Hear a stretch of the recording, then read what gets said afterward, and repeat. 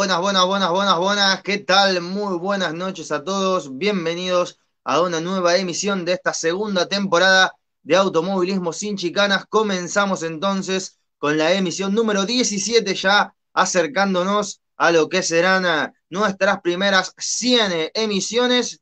Y rápidamente entonces paso a presentar a mis compañeros en esta noche.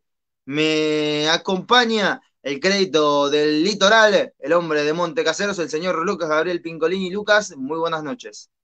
Muy buenas noches, Elías, muy buenas noches, Alejo, y muy buenas noches a todos, que me imagino ya se están prendiendo. Y bueno, aquí estaremos para este nuevo programa, luego de un polémico fin de semana en relación a lo internacional y después lo nacional, que unos lindos espectáculos ha tenido. Esperemos, esperemos que salga bien. Sí, señor, y ahora presentamos entonces a el hombre de Salto Grande en Santa Fe, Alejo Davico. Alejo, muy buenas noches. Buenas noches, Luca. Buenas noches para toda la gente que está del otro lado de la pantalla. Así es, estamos en un nuevo programa de ACC. Cada vez falta menos para llegar a los 100 programas, a las 100 emisiones. Y bueno, eh, Hoy estaremos hablando de lo que fue el fin de semana, eh, donde tuvimos actividad eh, nacional e internacional, con polémica también, como dijo Lucas. Así que nada, espero que, tengamos un buen programa y que, que se sume mucha gente. Sí, señores, y entonces nos vamos a meter rápidamente en lo que ha sido el fin de semana. Vamos a comenzar repasando lo que dejó el Super TC 2000, que encaraba una nueva fecha de su campeonato 2021, en este caso arribando al eh, Club de Volantes Entre Ríos de la ciudad de Paraná, en la provincia de Entre Ríos, justamente.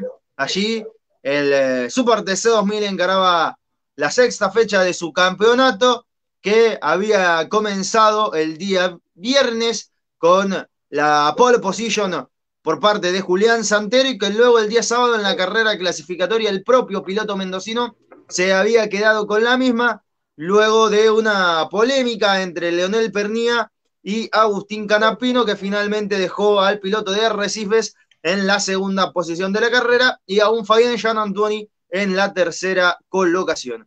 Ahora entonces repasamos lo que fue el domingo, lo que fue el plato fuerte del eh, Super TC2000, a ver si lo podemos tener entonces para destacar lo que ha sido un nuevo triunfo de Facundo Arduzo, el piloto de las parejas en Santa Fe, el hombre de Honda, que desde que llegó a la marca nipona ha hecho un gran trabajo, una gran labor, tanto él como toda la gente del equipo Puma Energy, con Monty, con eh, Juan Manuel Silva también, un gran trabajo de la gente de Honda. Empezamos repasando entonces, Lucas, lo que ha sido esta carrera.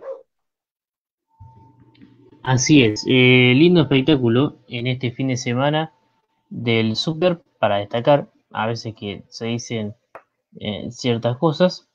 Para mí, como digo yo, eh, por estos momentos soy por hoy la, la máxima del automovilismo argentino. Y bueno, como decía, buenos espectáculos hemos tenido, si contamos a, Santero que largó desde la pole, eh, cuatro punteros distintos, cosa que siempre se dice, ¿no? Que falta pelea por la punta, esto, el otro.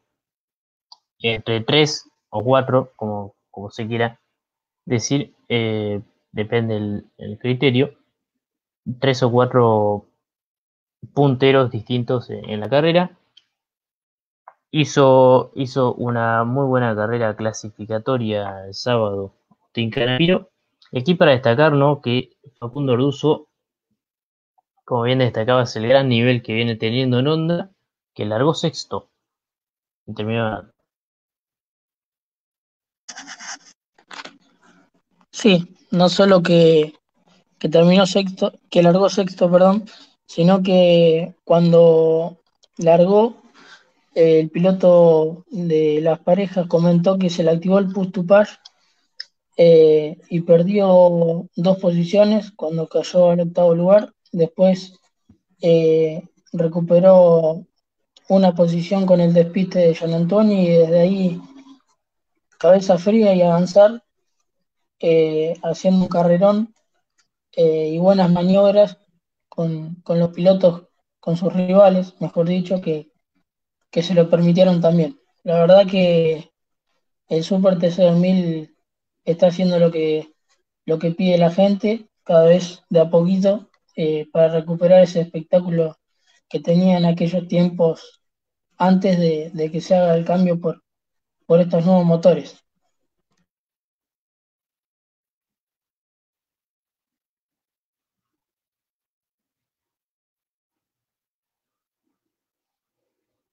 El, el sobrepaso entonces de Facundo Russo, excelente. A Matías Rossi para agarrar la punta, luego Matías Rossi la iba a recuperar, también muy buena maniobra para destacar respetándolo eh, a, a, el de Delviso y aquí por afuera también excelente otra vez Arduzo.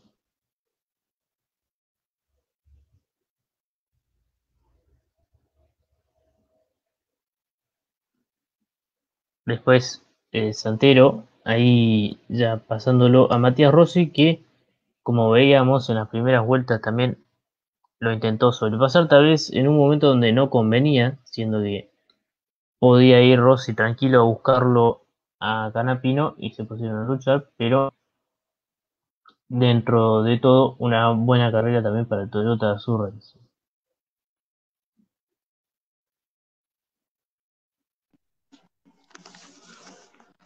Así es, y como vos decías, quizá no fue el momento indicado para Rossi, eh, ya que después del sobrepaso de Santero, eh, el Toyota de Rossi se, cayó un poquito eh, y dejó sin chances al campeón de, pelear por, por, la victoria o un lugar mejor de, del que terminó para subirse al podio. Arduzo hizo una buena estrategia. Eh, él también ponía el, el push to pass en los mismos que lugares que Toyota, pero cuando Rossi lo superó, Arduzo decidió poner el push to pass eh, en el segundo y tercer sector para, para ver si, si podía eh, arrebatar a los Toyota y así fue. una aplastante victoria para, para el de las parejas, sumando una nueva victoria junto al Puma Energy de Racing.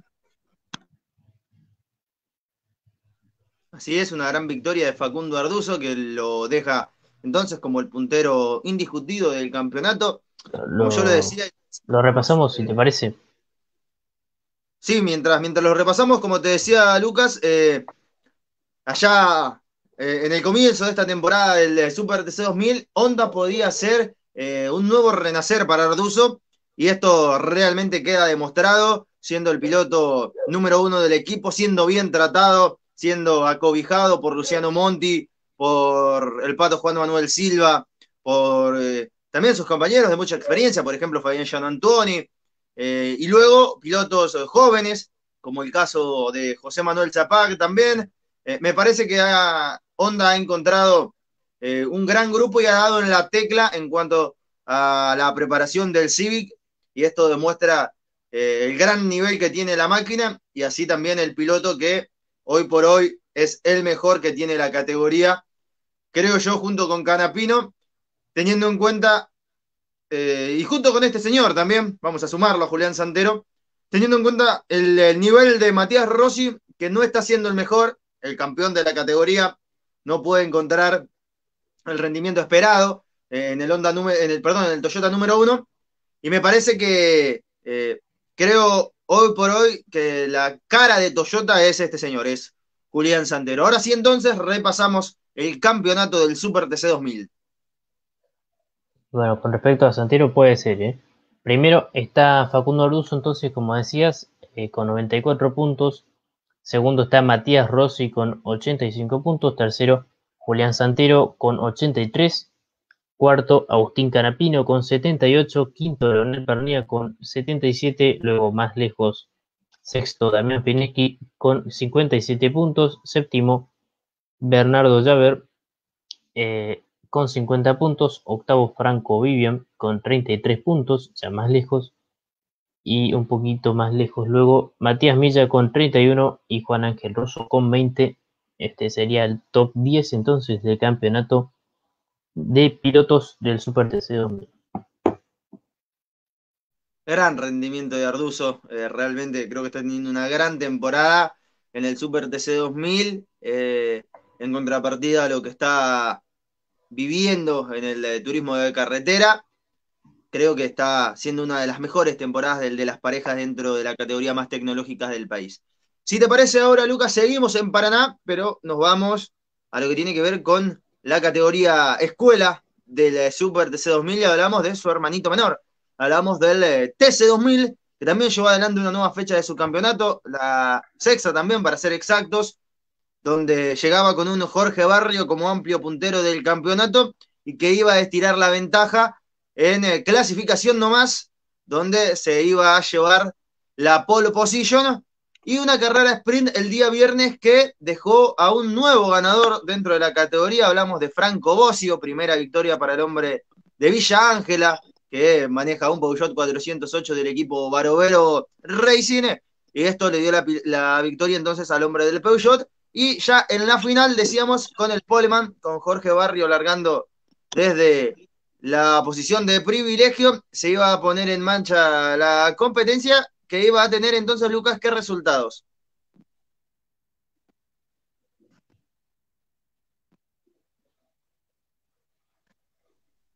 sí, bueno, justamente la, la, final del eh, Super, eh, perdón, Super no, del TC 2000, que fue como bien decía, victoria para Jorge Barrio, segundo fue Matías Cravero y tercero fue Facundo Márquez.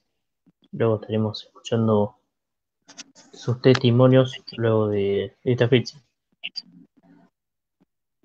Si te parece, entonces empezamos a escuchar los testimonios de los protagonistas, en este caso a quien culminó en la tercera posición, el piloto de Río Cuarto Córdoba, hombre del equipo Ambrogio Racing, Renault número 88 para él. Escuchamos la palabra de Facundo Márquez cuando lo tengamos.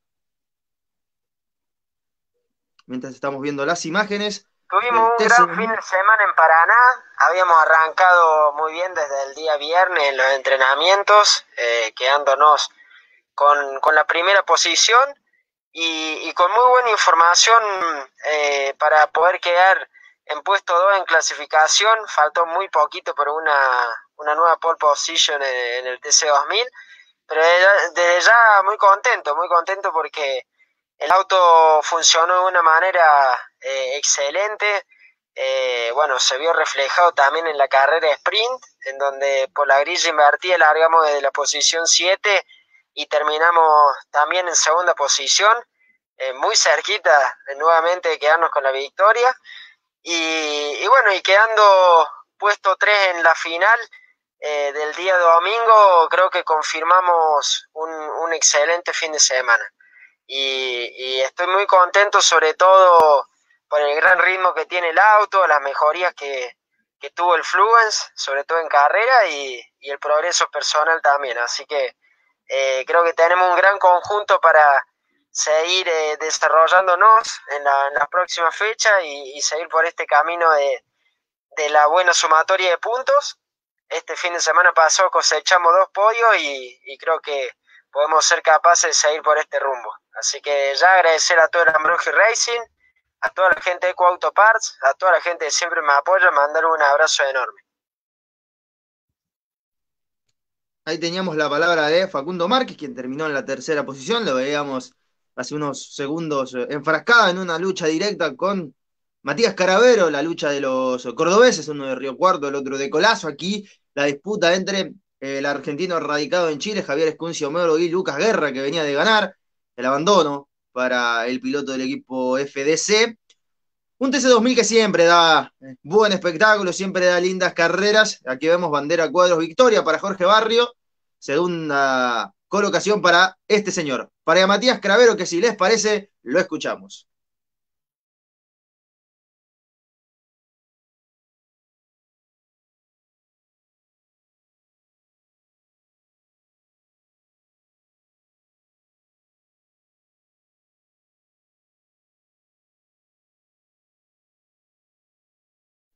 A ver entonces si tenemos la posibilidad de escuchar la palabra del piloto de Colazo, Luquitas.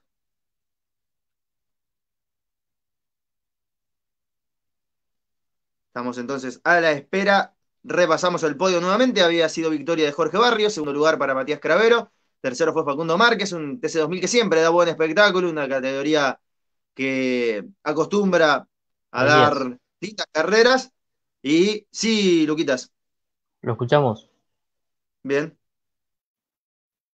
Hola para todos, soy Matías Cravero, piloto de TC2000, Super TC2000. Y bueno, pasó un fin de semana muy positivo en el TC2000, la verdad que nos fue muy bien, clasificamos puesto 5, el sprint avancé bastante, venía segundo, hasta que bueno, el auto no estaba funcionando el 100%, no lo pudimos poner la puesta a punto ideal. Eh, terminamos sexto el sábado y el viernes, perdón, y el día domingo sí avanzamos, eh, la largada que tercero, después una linda maniobra que fue ahí con un roce, quedé segundo, fui al pasto, me, después quedé tercero, me hicieron devolver la posición, pero bueno, el primero ya se había escapado un poco y, y no pude recortar camino. Mientras tanto en el Super TC 2000 la verdad que fue bastante bueno, estamos mejorando carrera tras carrera y, y pensamos en, en, seguir mejorando de a poco. Muchísimas gracias para todos.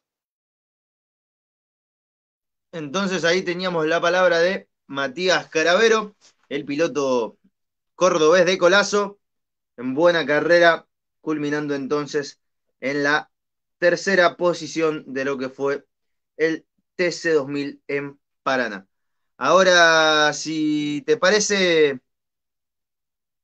eh, querido Lucas, vamos a hablar de lo que dejó también la fábrica de talentos, como muchos eh, la conocen, a la Fórmula Renault, que tuvo dos carreras el fin de semana en Paraná.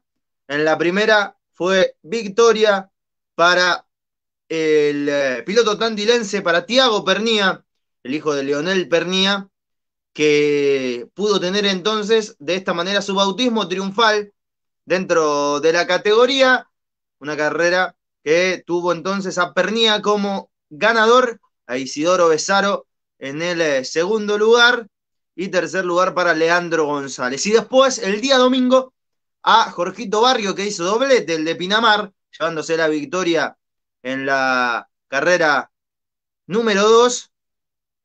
Y también a Isidoro Besaro, el cordobés, ahí lo vemos en pantalla.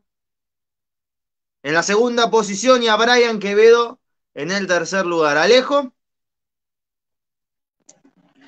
Sí, la verdad que eh, Barrio siempre es un piloto que funcionó bien desde el primer momento eh, y, es un piloto indiscutible, ¿no? Eh, es una, una promesa.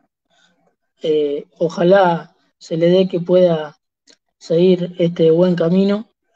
es un piloto aparte que corre muy tranquilo y que nada, otra vez nos sorprendió con este gran doblete.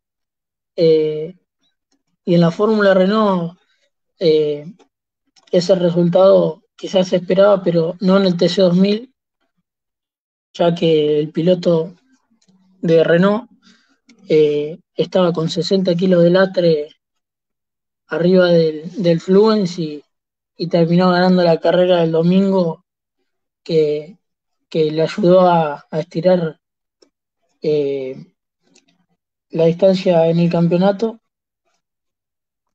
eh, igualmente que, que en la Fórmula Renault 2.0.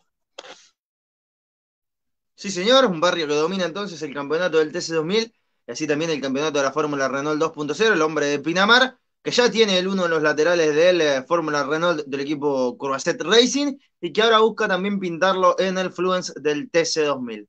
De esta manera, entonces, hemos repasado lo que ha sucedido este fin de semana en el Club de Volantes Entre Rianos de Paraná con el Super TC 2000 y la victoria de Arduzo con el TC 2000, la victoria de Barrio y en la Fórmula Renault también con la victoria de Jorge Barrio. Ahora nos venimos más uh, hacia aquí, a la provincia de Buenos Aires, más precisamente al Roberto Mauras de la ciudad de La Plata, donde nuevamente hubo fecha de la TC Pickup, acompañadas como siempre del TC Mouras, TC Pista Mouras y Fórmula 3 Metropolitana, donde hubo en algunas de ellas eh, debuts triunfales, así que ya rápidamente los vamos a ir repasando. En primera instancia, vamos a estar hablando de lo que dejó la TC Pickup, buena carrera de la categoría de camionetas de la Asociación Corredores de Turismo de Carretera, que dejó al olavarriense Nicolás Pesucci como un nuevo ganador, el eh, número 14 en el historial de vencedores de la categoría. Primera victoria para este piloto, eh, segunda victoria para la Nissan Frontier en la categoría, después de aquella primera victoria con Guillermo Mortelli en la carrera apertura de las eh, TC Pickup. Y bueno, una carrera que ha tenido de todo y que empezamos a repasar en este mismo instante, muchachos.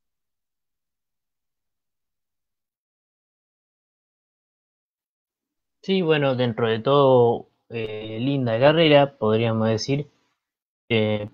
tuvo esta sorpresiva, podríamos decir, victoria de Nicolás Pesucci, pero bueno, aprovechó, aprovechó bien que, no pudo largar en pole como lo tenía que hacer Mariano Werner y dominó, dominó muy bien la carrera. Y luego sí vimos ahí de atrás de Ventricelli que se defendió bastante bien, podríamos decir, eh, bastante espectáculo. Una carrera interesante que iba a comenzar algo accidentada, ya lo vamos a estar viendo, con un, golpe fuerte entre Mariano Werner que largaba desde el fondo e intentaba avanzar. También por allí iba a estar inmerso en el inconveniente Agustín Lima Capitao, el piloto del equipo Octano, que finalmente terminaría siendo excluido de la carrera por un mal regreso hacia la cinta asfáltica. Eh, también Cristian 12, el piloto del eh, Forte. Por allí también estaba el piloto Gastón Mazacane, que se iba a ver envuelto en un fuerte accidente junto con Mariano Werner. Aquí lo vemos a bordo del piloto entrerriano. Se monta la Hilux sobre la Amarok y terminan las lagunas ¿eh? ya con los Mouras. No, no puede ser, ¿eh? Tanta agua. Pero... Ahí veíamos entonces. No puede ser el agua, básicamente. El mal regreso de Capitao, el eh, inconveniente con Mazacane termina siendo un sanguchito, el de La Plata, el local, que no puede evitar el golpe. Y termina allí también siendo perjudicado Cristian 12, zafaba Federico Montanz. Una carrera que tenía varios debutantes, caso de Federico Iribarne, el piloto de Lanús, sobre una Toyota Hilux del equipo JP Carrera, de Matías Muñoz Marchesi, el chaqueño, que estaba siendo parte de la categoría sobre una Nissan Frontier del equipo de Alifraco, y esta victoria de Nicolás Pesucci, que lo devuelve al hombre de la barriga a los primeros planos, luego de estar algún tiempo inactivo, y cuando aquí vemos entonces lo complicado que quedaba Gastón Mazacane. Una carrera que tuvo algunas fricciones fuertes como la de Ventricelli y Ruggiero, Alejo. Sí, eh, fue una pelea bastante dura desde el principio. Eh, la verdad que no sé lo que le pasó a Warner que largó atrás, eh, porque justo me perdí esa parte de la carrera. Eh, pero sí, la verdad que Alan Franco Ruggiero era otro de los debutantes. Y, un neumático. Ok, ok.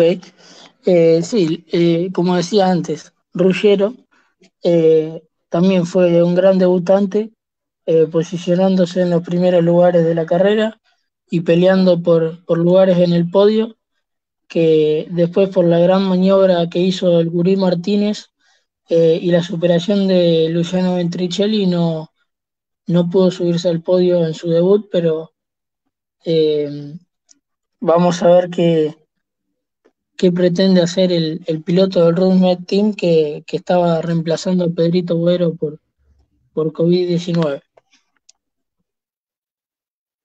Si nos guiamos por los resultados, seguramente merece un lugar eh, Alan Franco Ruggero en la categoría, sí, nuevamente lo que pasaba con las puertas, algo habitual, puertas y capots, las TC Pickup es algo a rever por parte de la categoría.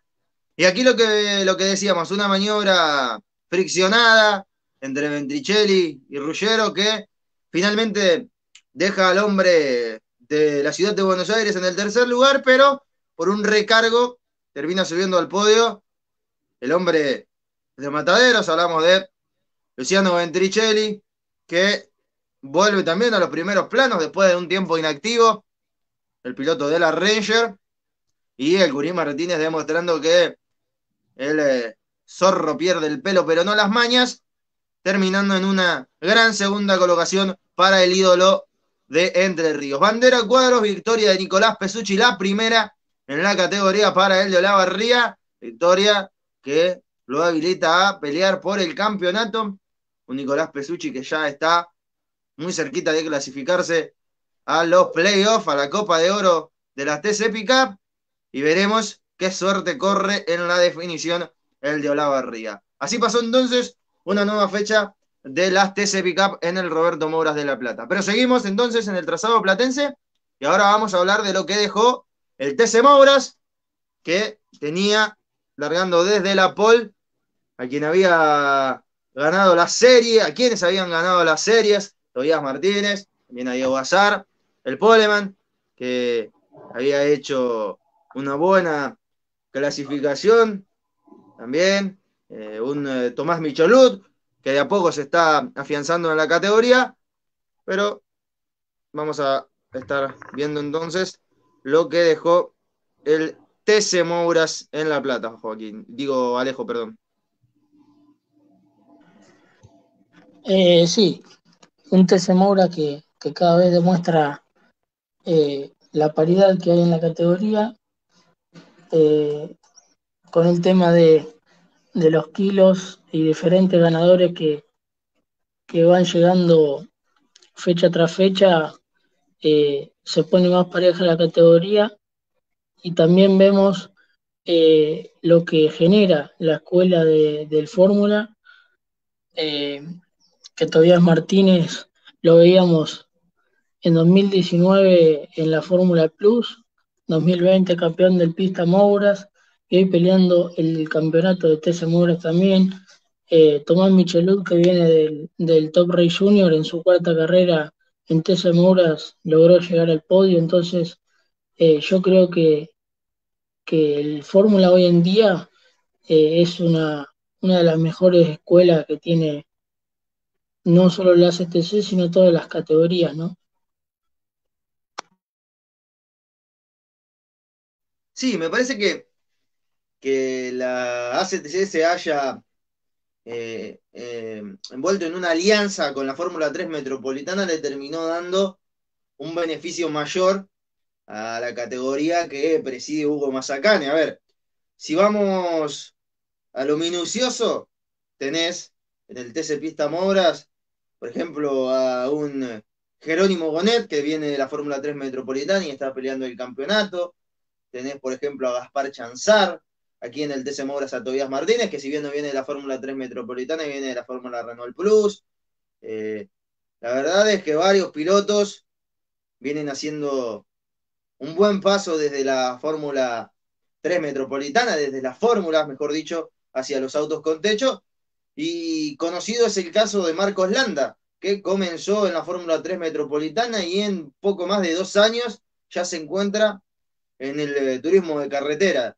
Creo que eso es importante, que se le siga dando importancia a las categorías de fórmula, que no desaparezcan, porque esto eh, siempre es una base para nuevos talentos y para hacer crecer el automovilismo, no solo argentino, sino en general. Aquí un momento clave de la carrera, trompo de Marcos Quijada a la salida de la curva de 90, perdía la Dodge, quien estaba peleando el campeonato y terminaría perdiendo muchos puntos importantes cuando lo vemos a Martínez yendo nuevamente a su segunda victoria dentro de la categoría.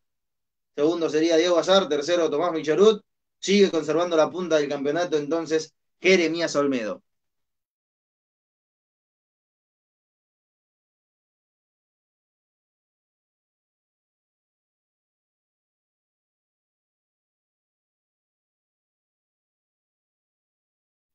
Seguimos entonces en el Roberto Mouras de La Plata y ahora vamos a repasar lo que dejó la cuarta categoría de la ACTC y hablamos del TC Pista Mouras que tuvo a un ganador repetido por segunda fecha consecutiva. Hablamos de Jeremías Cialchi, el piloto del equipo de Marcelo Santagata, que después de aquella carrera donde venía dominando y tuvo la rotura de su cardan, se eh, enredó en una buena racha de victorias, de buenos resultados, teniendo la revancha inmediata de aquella carrera con victoria en la quinta fecha, con victoria en esta sexta fecha también. Verdaderamente un gran nivel de Jeremías Cialchi con el Chevrolet y ahora volviendo a ganar, se prende ya en la disputa por meterse a los 12 de la Copa Coronación de Plata del TC Pista Muras. Si les parece entonces vamos repasando las imágenes, Lucas.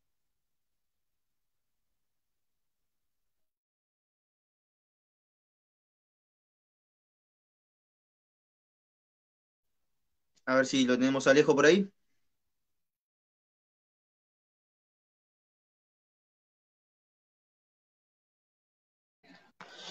Y Jeremías Cialchi es otro de los pilotos que viene de la Fórmula 4 nueva generación. Eh, y sí, eh, un piloto que, que, cuando debutó el año pasado en Concepción del Uruguay, eh, debutó con podio en esa carrera que ganó Maximiliano Feito, si no me equivoco. y bueno, el piloto de Chevrolet siempre mostró una buena performance, tanto en el auto como, como, como él, él también. Y bueno, eh, como decías vos antes, eh, luego de, del abandono, cuando venía ganando, que faltaban pocas vueltas, se encontró con esta racha de victorias. y nada, ahora está peleando por entrar a la Copa porque venía bastante complicado. Es más, si no me equivoco, creo que, por falta de presupuesto ha faltado a, otras carreras también y, cuando volvió, volvió muy fuerte de la mano del Santa Gata Motorsport. Así es, mientras veíamos la gran maniobra de Jerónimo Bonet sobre Ramiro de Boris, que conserva la punta del campeonato del TC Pista Mouras, si les parece, entonces vamos a escuchar la palabra del piloto de Mar del Plata, el hombre que maneja el Torino número 123, cuando allí Maestri peleando con De Bonis, yendo al roce, un abandono de Franco de Ambrosi que pintaba para ser protagonista también, y allí la bandera cuadros y la victoria de Jeremías Cialchi. Entonces, cuando Lucas, que hoy está haciendo todo a cuatro manos, gran trabajo del querido Lucas Pincolini, lo tenga por ahí, vamos a escuchar la palabra del de Mar del Plata de Jerónimo Bonet. Lo escuchamos entonces. Hola Elías, ¿cómo va? Buenas tardes. Bien, la verdad tuvimos un fin de semana muy, muy bueno. Estuvimos muy firmes en todos los entrenamientos. Tuvimos una muy buena clasificación haciendo la pole y con una vuelta que, que quedamos a una décima del, récord de la pista en, el TC Pista Mouras, así que tuvimos un funcionamiento muy bueno con todo el equipo y, bueno, después en la final pudimos avanzar un puesto de del tercer puesto al segundo. Eh, fuimos a buscar al primero, pero bueno, no nos alcanzó. Eh, tuvimos muy buen ritmo, así que muy contento y muy confiado para, para todo lo que queda, para bueno, para la última fecha de etapa regular y obviamente para, para la Copa. Así que bueno, les mando un abrazo grande a, a todos los de automovilismo sin chicanas.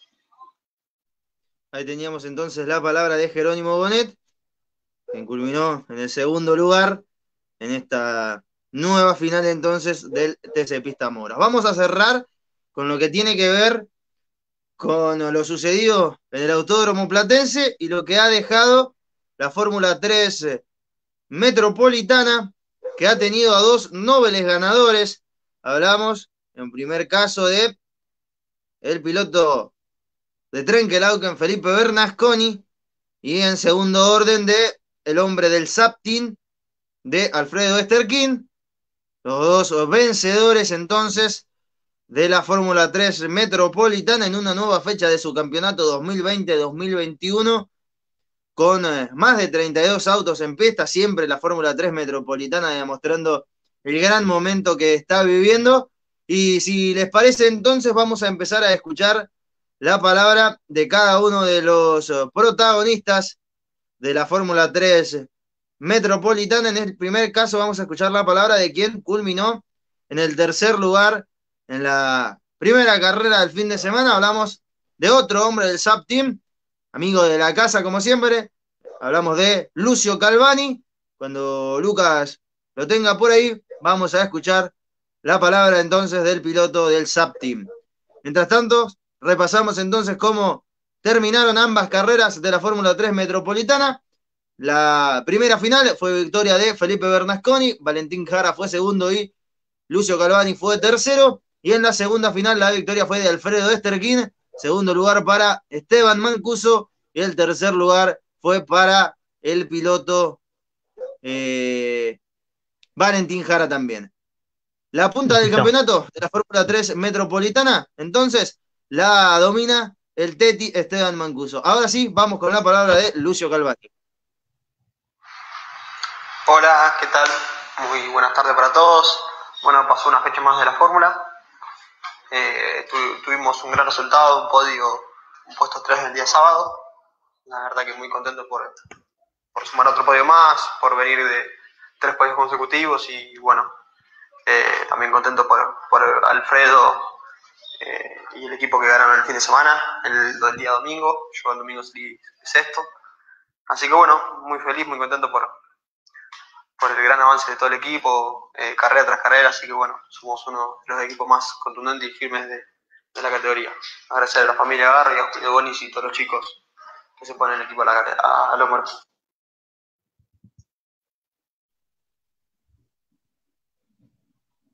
Entonces ahí teníamos la palabra de Lucio Calvani, de gran eh, performance del fin de semana, y ahora sí, vamos con la palabra del ganador de la final número uno, del eh, día sábado escuchamos al de Trenkelauken, que tuvo su bautismo triunfal a Felipe Bernasconi.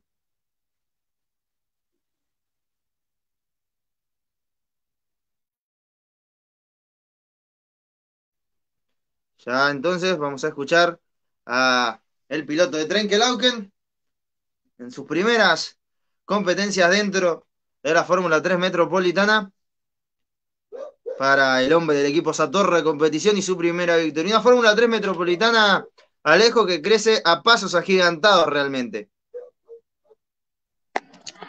Sí, la verdad que es una categoría que, crece día a día.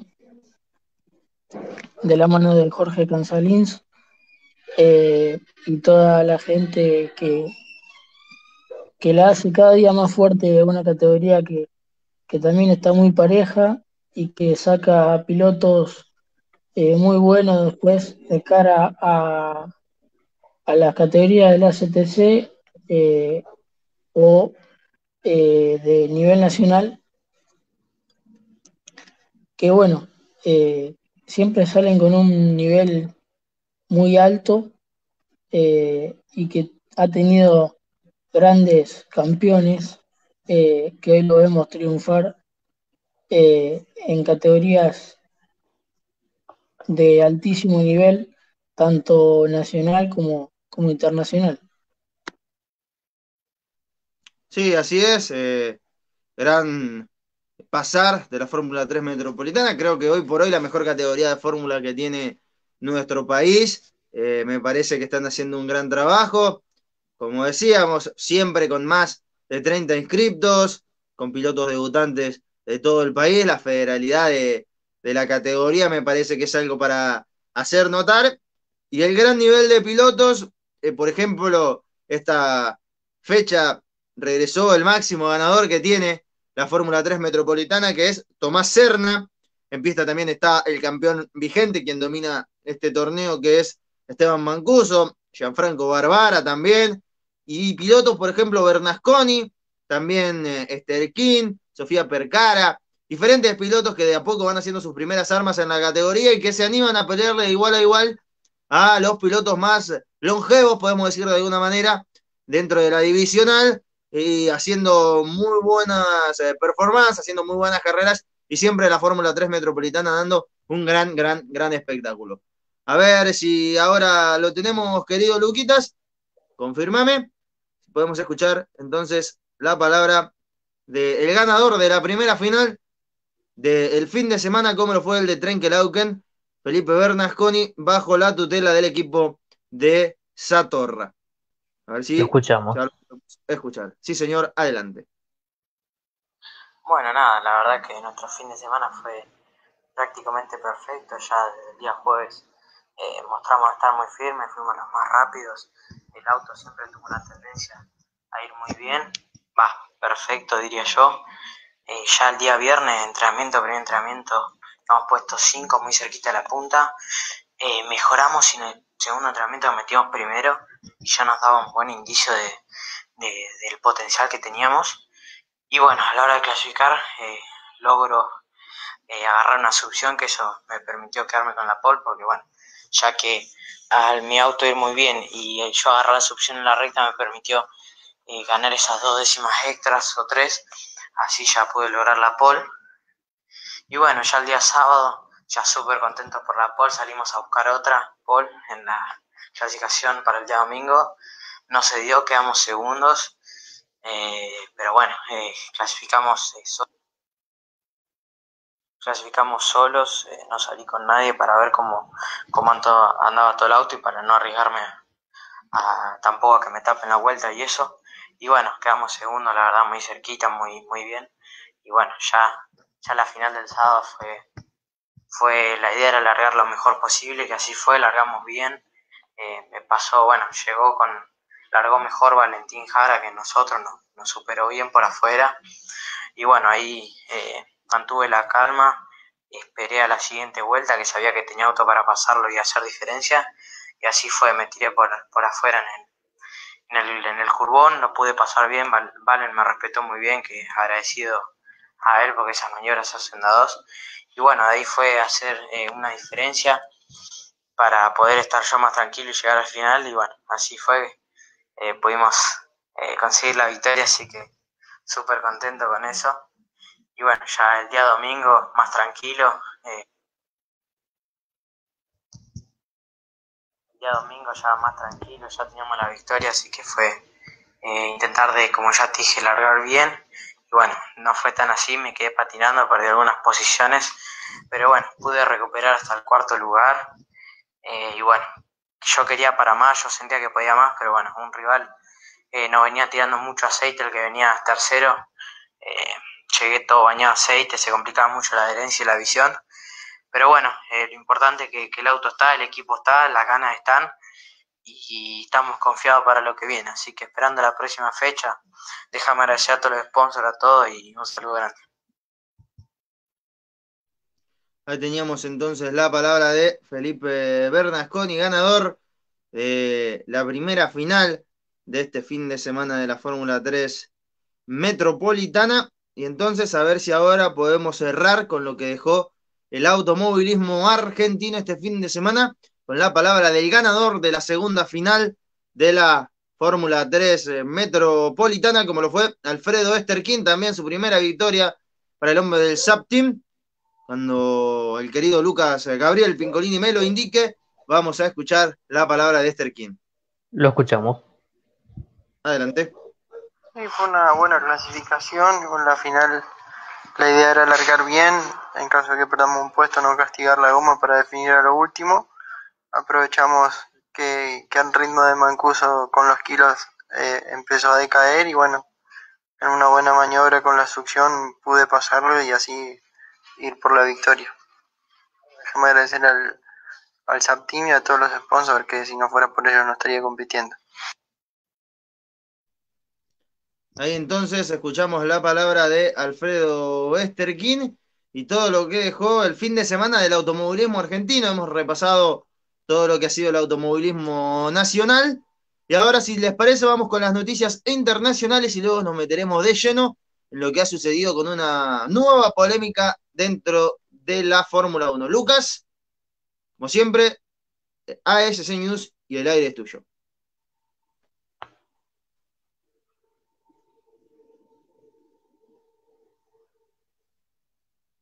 A ver si lo tenemos. Y por supuesto, entonces, sí, ahora sí, vamos entonces con las noticias internacionales. Tuvimos NASCAR en eh, New Hampshire, donde ganó Arik Almirola, segundo fue Christopher Bell y tercero Brad Keselowski. Luego también una noticia muy importante que hemos tenido en este fin de semana, eh, forma parte de Argentinos por el Mundo, y que es que Pechito López, junto a Kamui Kobayashi y Mike Conway, eh, ganó las 6 eh, horas de Monza del World Endurance Championship, en esto en la clase Hypercar, luego en la LMP2 eh, ganó el United Autosport, el número 22, con Albuquerque, Hanson y Serer, luego en la LMGT Pro eh, ganó el Porsche número 92 con Kevin Estre y Neil Jani. Y luego en la LMGT AM, así es, la Ferrari 83 con Perrodo, Nielsen y Rovera. Y bueno, luego para cerrar y para cerrar las noticias internacionales, para abrir la sección de Fórmula 1, fue victoria muy polémica de Lewis Hamilton. Segundo fue Charles Leclerc de gran carrera. Y tercero fue Valtteri Bottas. Recordemos, luego también tuvimos, ya parece que quedó lejos, ¿no? En el eh, día sábado el sprint, que lo ganó Max Verstappen, y segundo fue Lewis Hamilton. en tercer lugar, Valtteri Bottas. Te agrego algo más para las noticias internacionales y cerrar.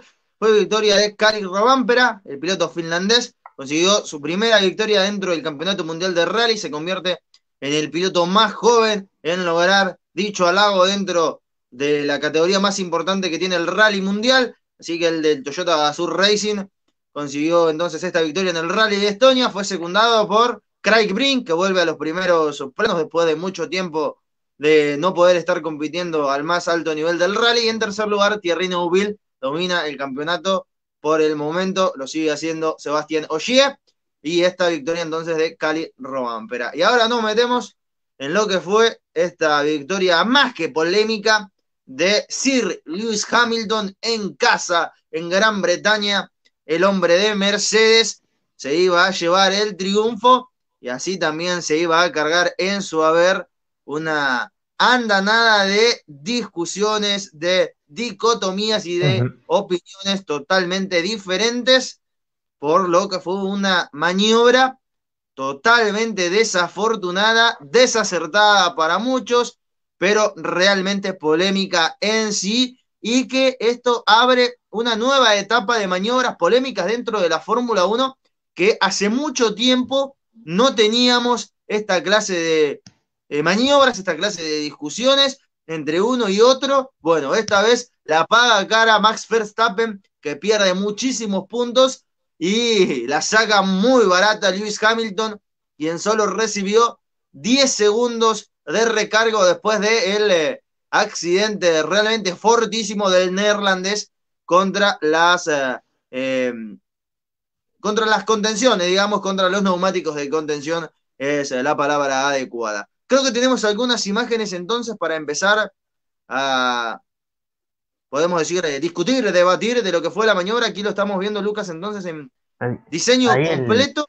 sí, ahí el momento. Te pido tu opinión rápidamente de lo que fue esta maniobra. Ahí vemos entonces el momento clave.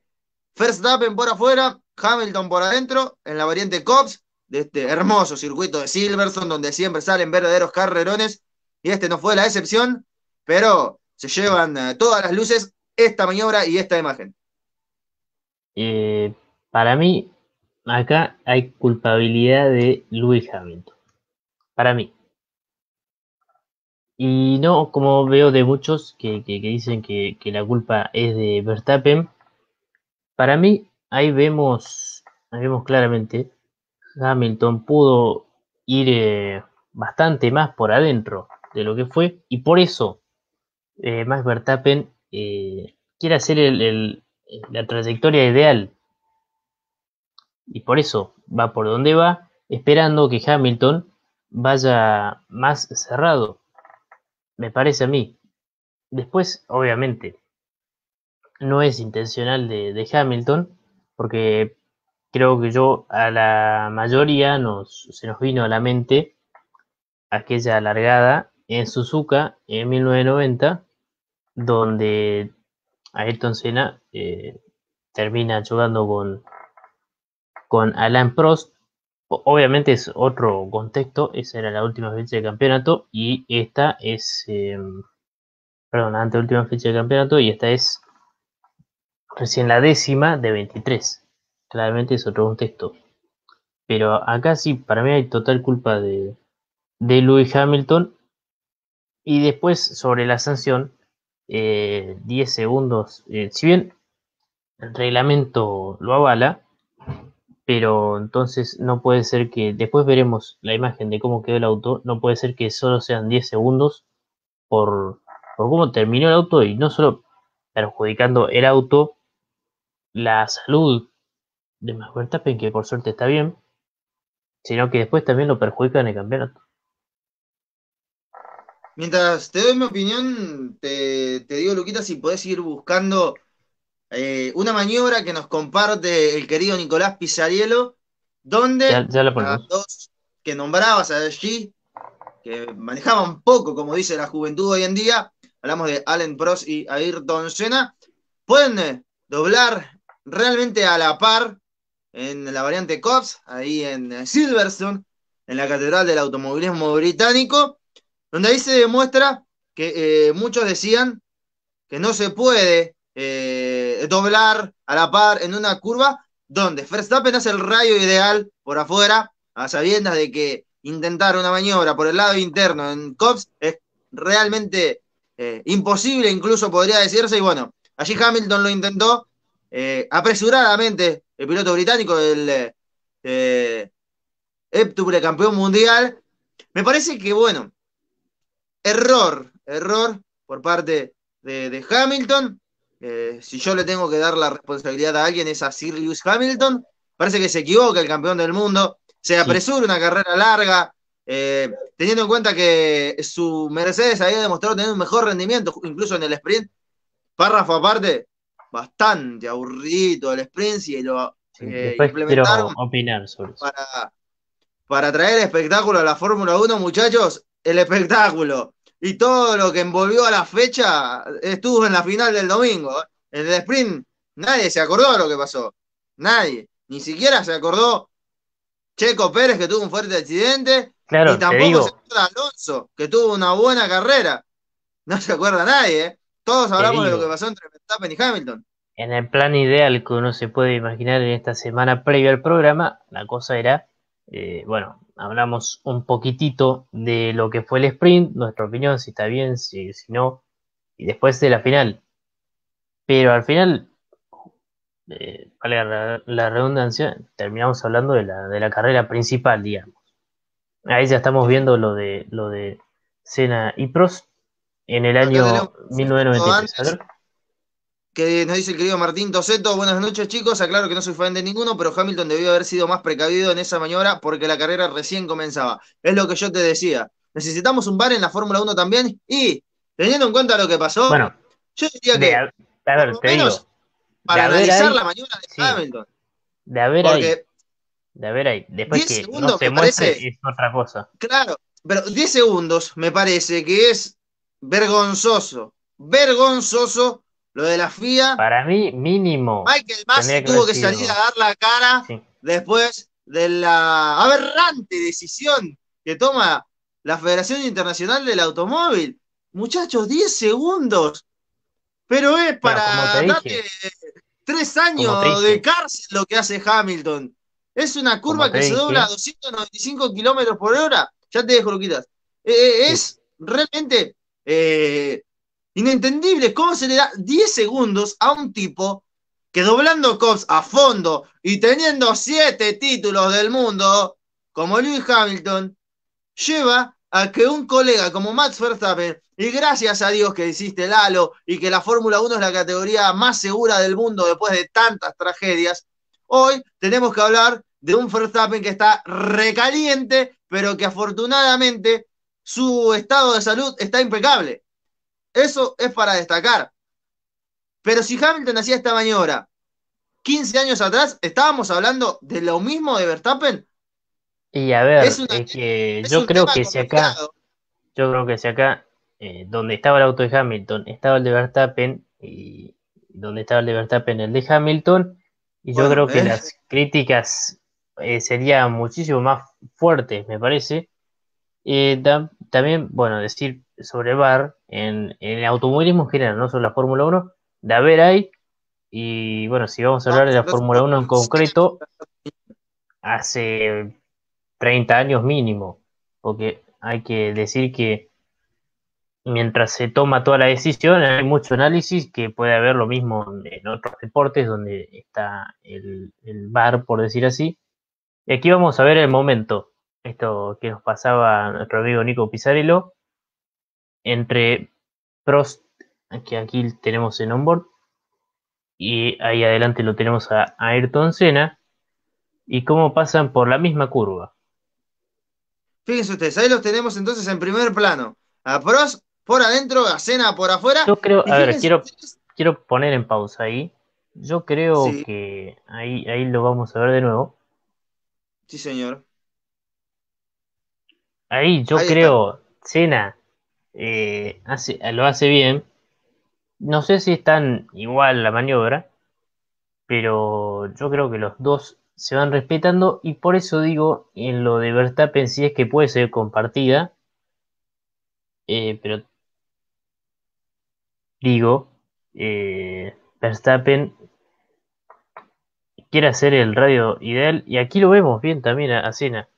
Va un poquito más abierto, sí. Tenemos, tenemos ahí, sí. Eh, si, tenemos la posibilidad y, cerramos con esto, una imagen a bordo del auto de Lewis Hamilton, perdón, de Max Verstappen, donde se ve eh, la máquina de Lewis Hamilton ya eh, a más de la mitad del monoplaza de Max Verstappen.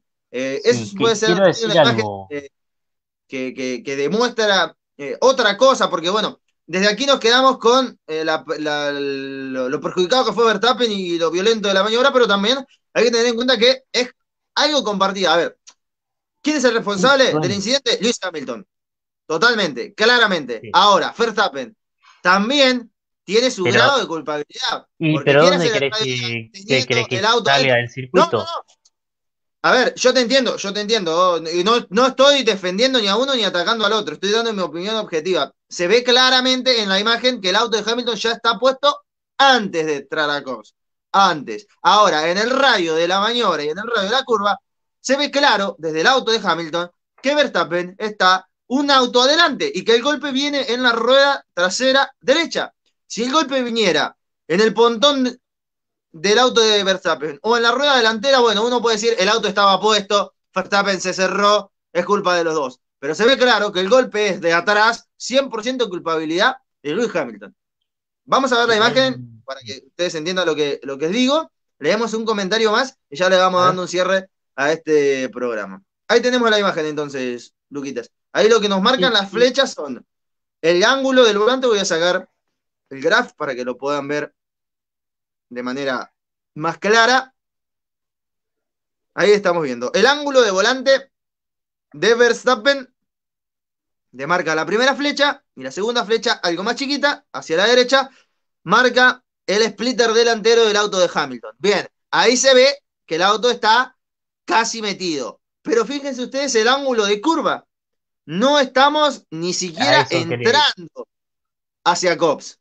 Además, además, bueno, obviamente no es lo mismo una vuelta de clasificación que una carrera, y más siendo los primeros metros y sabiendo que lo tenés a Hamilton al lado, bueno, Hamilton o quien sea, pero lo que suelen hacer los pilotos, los que siempre se hacen más que suelen, siempre lo hacen, no es ir mirando lo que tienen delante de las dos ruedas delanteras, sino ir mirando más directamente a, la curva que tienen próxima. Por eso también creo, si vemos ahí, el auto está haciendo la trayectoria ideal. Me parece a mí, después yo creo que lo respeta Hamilton, pero se espera que Hamilton eh, vaya más por adentro. Y aquí es donde tenemos una imagen, y desde ya le pedimos disculpas, eh, que esto lo preparamos mucho, pero bueno, lamentablemente no, no puede salir como quisiéramos por temas que ya se están dando cuenta. Pero ahí veremos la imagen de la maniobra de Hamilton con eh, Leclerc y vean cómo va más, más, más por adentro y luego la vamos a comparar con, con esta maniobra en concreto. Sí, señor. Ahí vemos. Ahí lo tenemos en pantalla entonces. Ahí lo vemos claro, el rayo de uno y otro. Cómo Hamilton va mucho más ceñido a la cuerda, ya con el antecedente de lo sucedido así algunas vueltas. Y si bien, si bien Leclerc va un poquitín más abierto, está haciendo más o menos lo mismo que, que, que, Verstappen. Me parece... Incluso te digo más, te digo más, te digo más. Leclerc parece ir por el medio de la curva tratando de no darle ningún resquicio a Hamilton. Y Hamilton que casi va con una rueda sobre el césped para ceñirse ¿Por qué no fue así en la largada, entonces? ¿Por qué no fue así? Bueno, por lo que te digo, me parece que viene ya con el antecedente de lo hecho con, con Verstappen y de su error. Yo creo que Hamilton eh, en su interior reconoce eh, el error y la macana que sí, total. Más allá de, toda la parafernalia y de todo el festejo, de, luego de la victoria y por ser local y demás, un tipo que tiene siete campeonatos del mundo de Fórmula 1 sabe cuando se equivoca. Y yo creo que Hamilton sabe que, tuvo ese error, que podía haberlo evitado, sí, pero también sabe que son gajes del oficio. Que si él levanta, quizás no tiene otra chance con Verstappen, porque tenía un buen rendimiento en el neerlandés. Y Verstappen sabe que si él no trataba de hacer el, el ángulo ideal, el, rayo ideal, y iba un poquito más abierto, después, a la salida de la recta, le quedaba la cuerda pero bueno, son dos pilotos de altísimo nivel, del nivel más alto del, mundo del automovilismo. No lo vamos a decir nosotros de nuestros sillones. Ellos son los pilotos, ellos son los que saben. Nosotros lo decimos con nuestra opinión. Me parece que el error es de Hamilton y él lo sabe. Ahora, que lo reconozca y salga así públicamente, sí, yo me equivoqué y, expuse a, Verstappen al accidente. Bueno, eso ya es otra historia. Y ahí Creo que teníamos una, digo, una más. Eh, me parece que no y ya vamos repasando entonces el campeonato y cerramos este programa de hoy. Sí, y ahí te digo, eh, lamentablemente no podemos poner el vídeo, como les dije hoy, pero Sena decía que, bueno, eh, uno es competidor y si siendo pilotos de carrera eh, no va a ir por buscar un tercer o un segundo puesto, sino va a ir por, por la victoria. Ahí se puede defender un poquito más lo de Hamilton. Pero por otro lado, eh, ¿qué decía Fangio? Las carreras se ganan cuando se baja la bandera a cuadros y no se ganan en la primera curva. Claro. Entonces ahí ya tenemos eh, argumento en contra, digamos, para uno a favor y uno en contra de Hamilton. Y después, bueno, ahora vamos a leer la, las eh, declaraciones entonces en sus redes de Max Verstappen eh, luego de tener el alta, que bien decía, eh, también fuerte, y yo creo que, más o menos eso es lo que nos dimos cuenta todos, ¿no? Creo yo.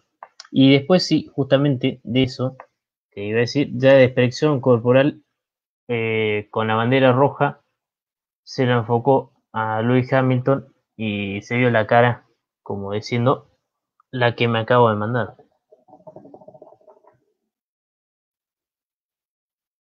Ahora eh, vamos a repasar entonces la declaración en sus redes de Max Verstappen, que bien decía, eh, me alegro de estar ok, muy decepcionado por haber sido eliminado así, la sanción no nos ayuda y no hace justicia a la peligrosa maniobra que Lewis Hamilton hizo en la pista, ver las celebraciones mientras estaba en el hospital es un comportamiento irrespetuoso y antideportivo, pero seguimos adelante.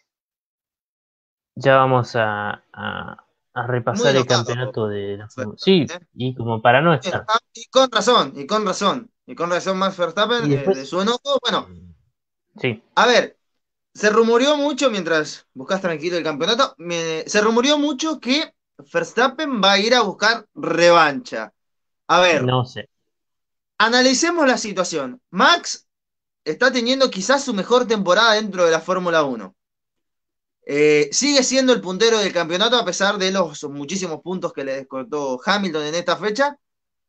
Yo no creo que el neerlandés vaya a tomar revancha por mano propia y a quizás arruinarse su carrera, incluso su campeonato, por eh, tomarse una pequeña revancha y eliminarlo a Hamilton de la misma manera. Me parece que el neerlandés es inteligente, sabe que tiene la máquina para correrlos a los de Mercedes, sabe que la lupa va a estar puesta en ellos dos y creo que eh, estarán más eh, a riesgo de, cometer otro error o otra equivocación Hamilton que el propio Verstappen. Desde mi punto de vista, yo no creo que, Max vaya a, buscar eh, chocar a Hamilton para tener una revancha cuando sabe que de esa manera puede perder el campeonato. esa es mi opinión. Mucho, mucho se dirá de, Verstappen, eh, pero no creo, tampoco tendría por qué hacerlo. O sea, sí, después de esto podría tranquilamente, pero yo creo que pensando por parte de Red Bull, por parte de todo el equipo, eh, sabiendo cómo puede terminar, es preferible ganarlo limpiamente y tener una revancha diciendo gana el campeonato.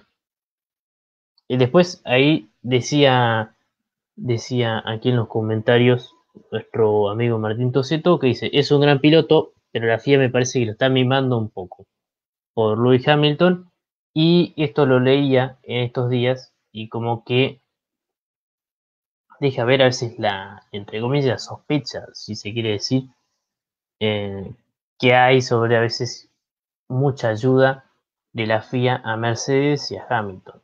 Que muchas veces se dice, para mí no es así. Para mí no es así. En tanto el campeonato de pilotos, el que está puntero justamente más Verstappen con 185 puntos. Y ahí ya está Lewis Hamilton con 177 puntos. Segundo. Tercero, Lando Norris con 113 puntos. Cuarto, Valtteri Bottas con 108 puntos. Y quinto, Sergio Checo Pérez con 104 puntos. los dos de Ferrari, Leclerc y Sainz con 80 y 68. Sí. Toda esta polémica opacó un poco el gran rendimiento que tuvo Charles Leclerc en la carrera. muy cerquita de la verdad, la victoria, sacando la cara por Ferrari. Con un auto inferior, porque es así, que encima venía fallando. Es la gran oportunidad para Ferrari y sería muy lindo, sería muy lindo ver que a esta lucha de Red Bull y Mercedes se le meta un intruso como puede ser Ferrari. Ojalá sea así para los ferraristas, sobre todo y para el espectáculo, digo yo. Sí, para el mundo del motorsport, a ver, eh, todo el mundo quiere que Ferrari esté allí en la disputa por, Además eso, Fórmula 1. Eh, lo de Leclerc es para pararse y aplaudir, la verdad que lo que hizo el Monegasco eh, es incluso rozando lo épico, le faltó muy poquito por la victoria, él lo sabe, no estaba conforme con el segundo lugar, a pesar de hace mucho tiempo no estar en el podio. Me parece que merecía la victoria y bueno, esta polémica eh, tapó un poquito entonces eh, el gran trabajo que hizo eh, Charles Leclerc y bueno, Valtteri Bottas que si bien llegó al podio, no levanta cabeza el de Mercedes y cada vez está con un pie afuera de la marca alemana, teniendo en cuenta que George Russell metió al Williams en Q3. Así que me parece que se viene la dupla de británicos para la casa alemana. Repasamos entonces el campeonato de equipos. Tenemos algo que contarles ahora, se viene un lindo sorteo y ya cerramos este programa del día de la fecha. En el campeonato de equipos entonces que lo lidera Red Bull eh, está muy apretado, con 289 puntos, segundo Mercedes a tan solo 4 puntos de Red Bull, tercero ya un poquito lejos McLaren con 163 puntos. Cuarto, Ferrari con 148. Quinto, Alfa Tauri con 49. Sexto, Aston Martin con 48. Séptimo, Alpine con, eh, o Alpine, como se diga, con 40. Luego está octavo Alfa Romeo con dos puntos. Alfa Romeo que por lo menos hasta 2025 seguirá en la Fórmula 1.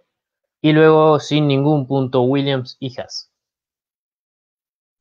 Para destacar la, la, gran actuación de, de, de George Russell, que al final no se dio el anuncio eh, este fin de semana, pero está toda. Sí, es un secreto a voces ya que George Russell se va a convertir en nuevo eh, piloto. Y ya dijo, ya dijo este, este fin de semana eh, que el año que viene va a estar corriendo en un auto con motor Mercedes. No, no creo que sea McLaren. Por ahí capaz, pero no creo. Veremos entonces de qué se trata eh, el anuncio de Russell, pero creo que, viene por, por, el lado de que el eh, de Inglaterra se va a estar subiendo entonces a el Mercedes. Eh, Lucas, quiero contarte algo y contarle también a, todos nuestros seguidores que se viene un sorteo muy importante para los fanáticos del Sim Racing, teniendo en cuenta que aquí somos también animadores del mundo del automovilismo virtual. Allí tienen la posibilidad de ganarse una estructura para simulador, ¿eh? Un premio realmente importante, allí lo vemos entonces en pantalla completa. Se va a estar sorteando el próximo 14 de agosto Cuatro números valen solamente 500 pesos por cuatro números para estos premios. Me parece que es eh, una ganga. Allí estamos viendo entonces, el primer premio es una estructura para un simulador a medida con butaca JN. El segundo premio es un auricular gamer. Allí, auspiciado por la gente de Curbón, la gente de JN, RPM, los amigos de estructuras PD, RPM Warren y ASC también. Si quieren más información o comprar los diferentes números tienen al pie de pantalla la información. En Instagram me encuentran a arroba Peter Durano OK. O si no, vía WhatsApp al 11 64 67 17 57. Repito, 11 64 67 17 57 para comprar los números y poder ser parte de este sorteo de los amigos de estructuras PD y llevarse una estructura para simulador. Lo vamos a estar poniendo en nuestras diferentes redes sociales para que lo tengan más a mano, pero no se pueden perder este gran, gran sorteo. Ahora sí, compañero, a pesar de los inconvenientes, a pesar de distintas eh, variantes de problemas que se vienen supeditando y suscitando en estos últimos programas, bueno, podemos llegar adelante esta edición de ASC. Nos reencontraremos el próximo lunes de las 21.30 en adelante. Últimamente estamos medio complicados con eh, el horario, pero Vamos a estar presentes como siempre el miércoles a las 22 con el inicio de los playoffs del STCC, jueves a las 22 con el inicio del campeonato de los DTM, de los amigos de Entre Ríos Liga Virtual, y el viernes cerramos el campeonato de la Fórmula Renault by CSB a las 23, así que los esperamos. Luquitas, muchas gracias. Sí, muchas gracias a vos, Elías, bueno, también a Alejo que lo teníamos hoy, y a todos los que nos vieron hoy. Eh, quería decir algunas cositas. Primero, 21 a 30 empezamos porque, bueno, no queda otra, hay que decirlo. Eh, por ahí para algunos que, decían cositas. Luego también eh, sobre esto de la Fórmula 1, que tenía ganas de decirlo y ya me estaba olvidando, eh, voy a hacerlo lo más corto posible, que si uno critica a Hamilton, está criticando más que nada por la acción ¿no? que hizo. Y eso en concreto. Luego, los siete campeonatos son otra cosa. Y otra cosa, más aparte, es su color de piel, ¿no? Y después. No, bueno, eso es una boludez, eh. Porque voy a decirlo, Yo no, no, no, tengo pero mucho filtro. Porque parece que uno, por criticar la acción de Hamilton, está siendo racista. Y esa no es la intención. No, no, no, para nada, para nada. A ver, si, si hubiese sido Kimi Raikkonen, si hubiese sido Sergio Pérez, si hubiese sido Yuki Tsunoda, o si hubiese sido cualquier otro piloto, se lo iba a criticar igual porque la maniobra es criticable, el accidente es criticable, y no porque sea Lewis Hamilton. Eh, yo le tengo un enorme respeto, es un siete veces campeón del mundo, me parece que se sienta eh, en la mesa de los grandes de, verdad de la historia del automovilismo mundial, no solo de la Fórmula 1, y se le pueden achacar distintas cosas como esta maniobra. Ahora, meterse con Hamilton por su etnia, eh, me parece que ya es una, una boludez bastante grande. Eh, más teniendo en cuenta que aquí se habla de automovilismo, en nuestras redes se habla de automovilismo, y siempre tratamos de ser lo más objetivo posible. Sí. Por mi parte, nada más. Creo que vos estás ahí también. Sí, sí, sí, justamente. Y por eso yo critico esto de Hamilton, pero estoy muy lejos de, de, de querer ejercer el racismo en este caso, ¿no? Y bueno, después, eh, nada más para decirnos, reencontraremos en la semana y bueno, eh, por ahí da para alargar el tema de, de, esta maniobra. Uno nunca sabe lo que puede venir en la programación, digamos. Así que esto nada más por mi parte. Eh, bueno, muchas gracias y nos vemos la próxima. Sí, señor. Ahora se viene entonces el itinerario de saludos, porque si no, después me critican. Saludar a mi madre, a mi padre, a mi hermano Latan, a Amelia, a Rami, a Madi, a todos los que nos hacen el aguante, como siempre, en eh, cada emisión de Automovilismo sin Chicanas, de ASC en carrera.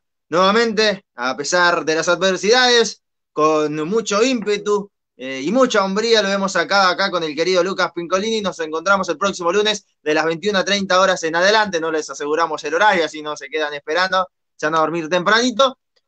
Y recordarles que, como siempre, la vida se vive a fondo, siempre por la recta y sin chicanas. Que tengan la mejor de las noches. Muchas gracias.